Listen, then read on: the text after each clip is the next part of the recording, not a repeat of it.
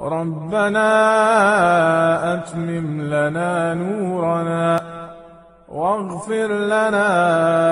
إنك على كل شيء قدير